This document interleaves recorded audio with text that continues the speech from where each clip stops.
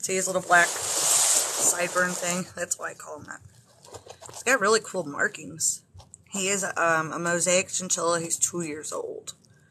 That's what the owner told me, and I'm trying to get him to do more dust baths because his fur could use a little more.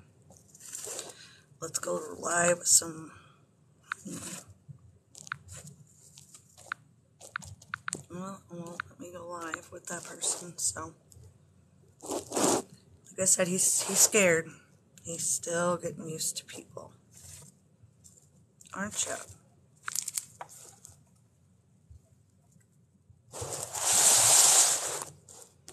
But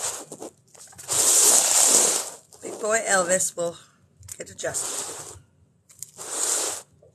You guys like his colors? They're pretty.